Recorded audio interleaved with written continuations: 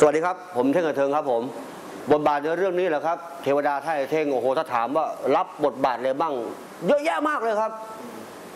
เขา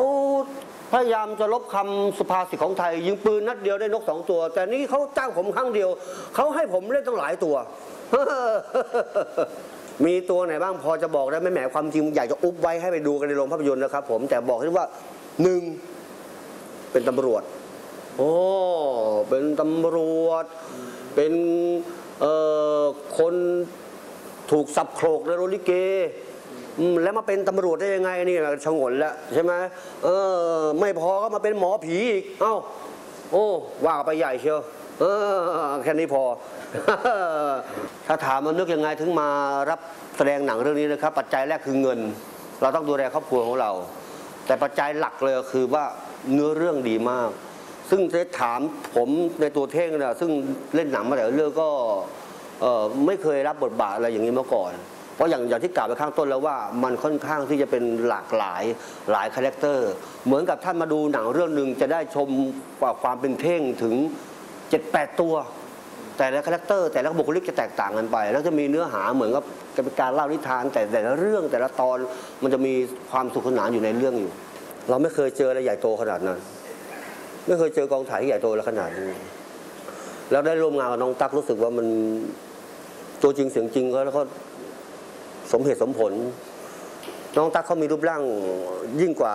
สถานการณ์อัฟกานิสถานแล้วผมว่าน้องตั๊กเขามีรูปร่างที่บึ้มทุกจุด แล้วเวลาร่วมเล่นกับเขานะร่วมเล่นนะฮะร่วมเล่นการแสดงนะครับ ไม่ใช่ร่วม ไม่ใช่ร่วมทุนสร้างอะไรบางอย่าง ร่วมเล่นการแสดงกับน้องตั๊กแล้วผมชื่นใจมากเลย นี่คือสปริตของนักแสดง นี่คือนักแสดงตัวจริง นี่คือเขาเกิดมาเพื่อเป็นนักแสดง ฉากที่เข้าน้องตั๊กผมประทับใจมาก ฉากที่น้องตั๊กเขาอยากเล่นแทนเขาแบบคือฉากนั้นเขาเอามือมาบีบ บีบมาตุ้มเขาบีบหน้าอกเขาอะด้วยอารมณ์ของผีเข้าผีเข้าแล้วเขาจะเล่นอะไรของเขาเขาเราเห็นเราดูแล้วขนลุกอะ ขนลุกที่ไม่ใช่ไม่ใช่เห็นเพราะว่าเขาแสดงเก่งขนลุกที่ว่ามันน่าเสียดายอะมันน่าเสียดายเออน่าเสียดายไอ้ไอ้ตรงนี้อยากให้ท่านไปดูไปดูกัน แต่แต่สรุปแล้วคือสนุกมากแล้วก็น่ารักมากน้องตั๊กนะครับ น่ารักจริง ๆ เลยนะฮะเป็นไปได้แล้วก็แล้วแต่จะคิดนะครับเมื่อกี้เราพูดเรื่องตั๊กบงกฎนี่มาพูดถึงโกติโอ้โหมันห่างกันมากเลยเนี่ยพูดเนี่ยมันจะน่าก็ลดหลั่นมาแล้วพูดถึงโกติมัน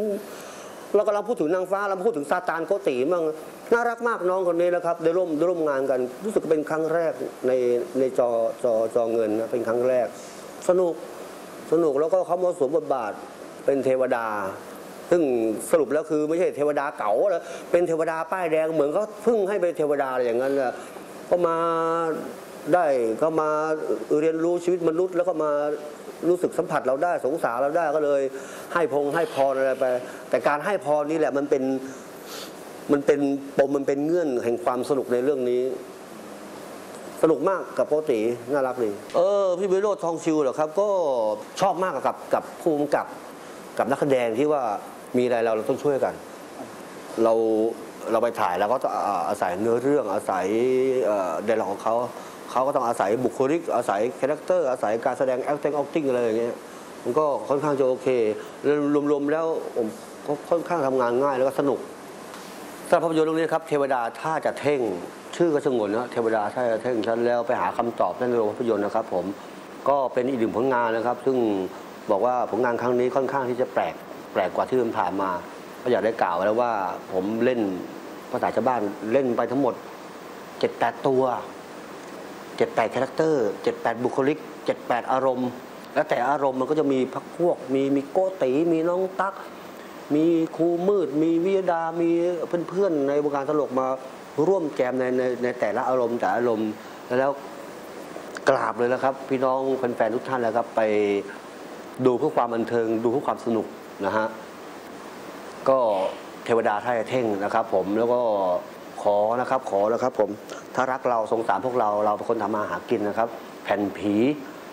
ไม่ดีนะครับ เอาผีเข้าบ้านมันก็อับมงคลแล้วครับผมนะเอาแผ่นจริง ๆ แผ่นที่มีอาอารมณ์ ไม่ว่าจะเป็นเสียงจะเป็นภาพทุกอย่าง เราควรทำงานเราให้สิ่งดีๆให้กับแฟนๆแล้วแฟนๆก็ควรจะบริโภคสิ่งที่ดีๆนะครับผม